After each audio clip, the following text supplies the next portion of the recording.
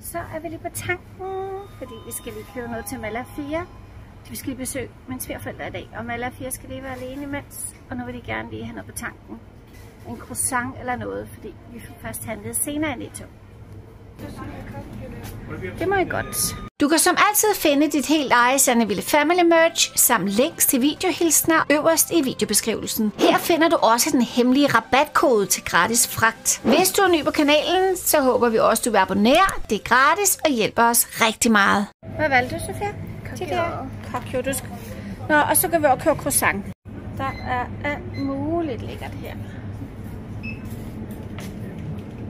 Der er også croissanter. Og en af de der pølsehorn til at svære. Ja.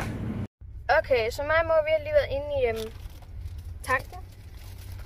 Så det første, som vi købte, var to pølsehorn med ketchup og vi kunne få fat i dem.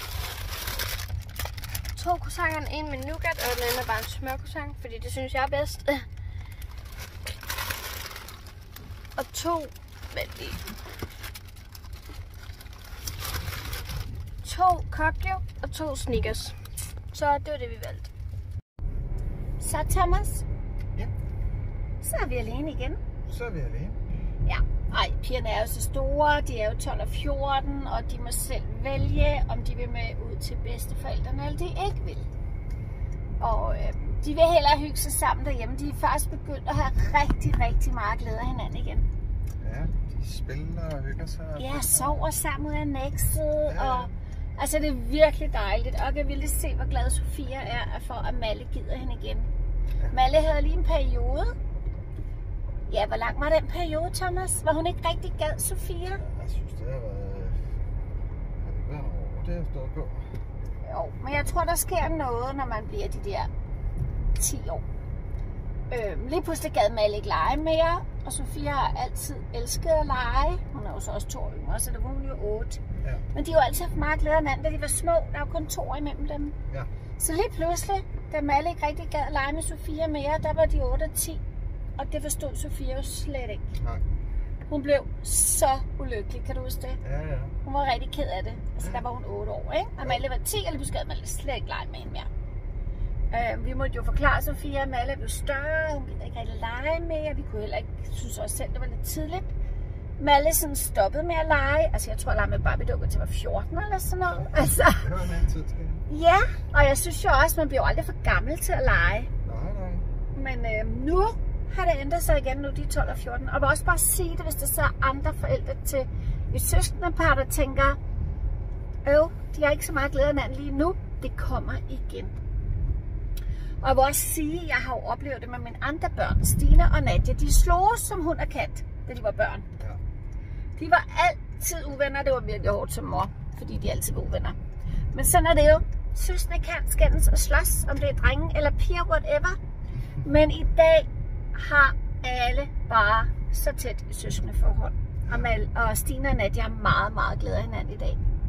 Jeg tror også, det var fordi, de var så forskellige. Især da de var teenager, ikke?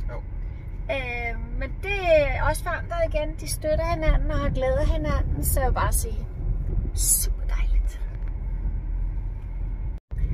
Det er også dejligt at besøge dine forældre. Det er jo bare med at se dem så tit vi kan, så man ligesom får det bedste ud af at se sine gamle forældre. Jeg har jo også forældre, der er ja, i slutningen af 70'erne, ikke? så øh, det er bare med at nyde dem.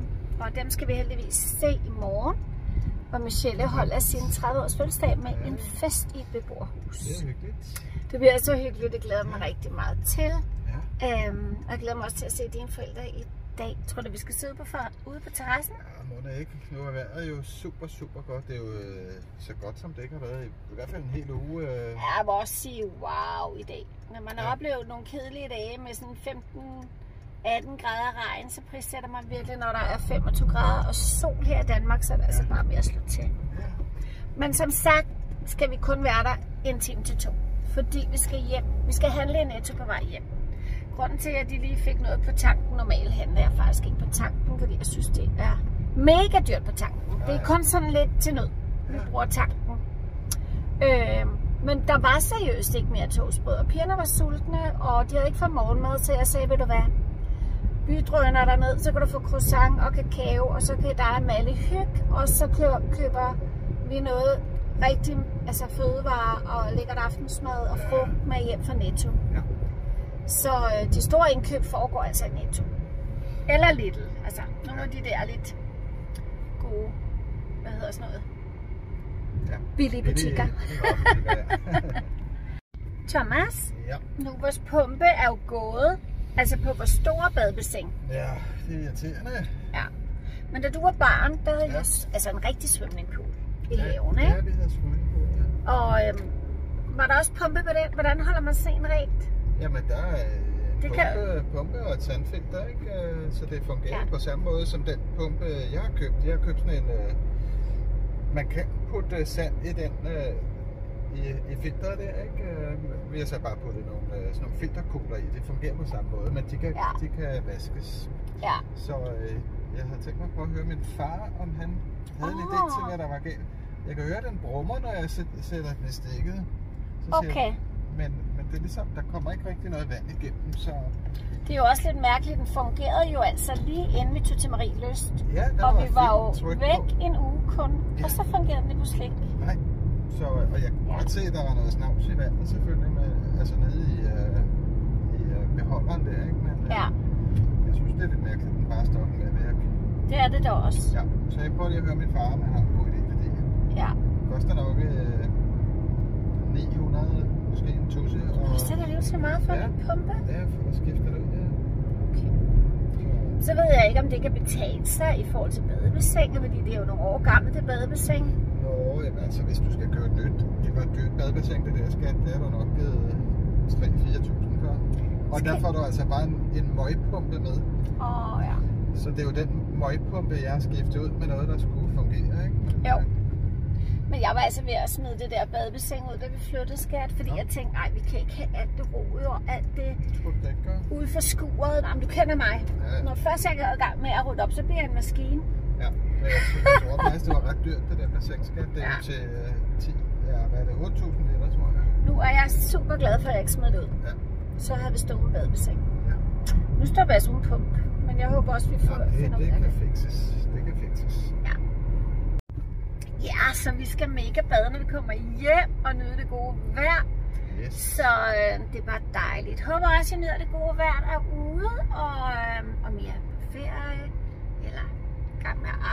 så får I jo forhåbentlig snart fri, så I kan noget nyde det gode sommervejr, der i Danmark i dag. Men tak fordi I så med. Husk at abonnere og give videoen et like, og så ses vi snart igen. Hej!